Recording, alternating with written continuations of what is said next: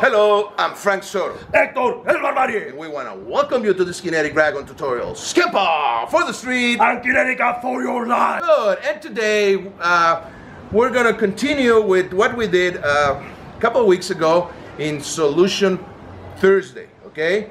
Here on Basic Tuesday, we're going to work some basics with the Police Tonfa Baton or the PR24. Okay?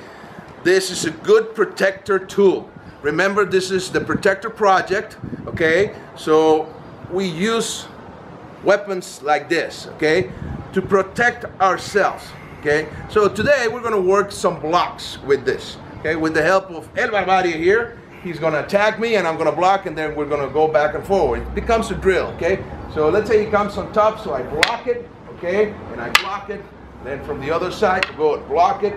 E, there you go. Okay, when you block, you're going to assist your hand with the other hand. Here it's important because if you have a greater tool or a stronger or heavier weapon, you're going to need this. So you're going to assist with the other hand. Don't cover the weapon, okay? Just put it like this, okay?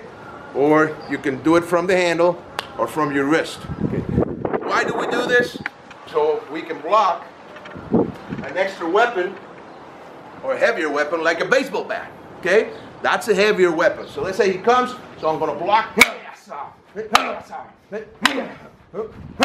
Okay. Good. It's a good drill. Good. Okay. Hector. This is a very good drill because the impact and the impression of seeing this coming at you, uh, it's gonna challenge your emotions. Yeah. You have to be tough, okay? But covering and closing your eyes is not going to take the impact away unless you block it, okay? So let's let's do this.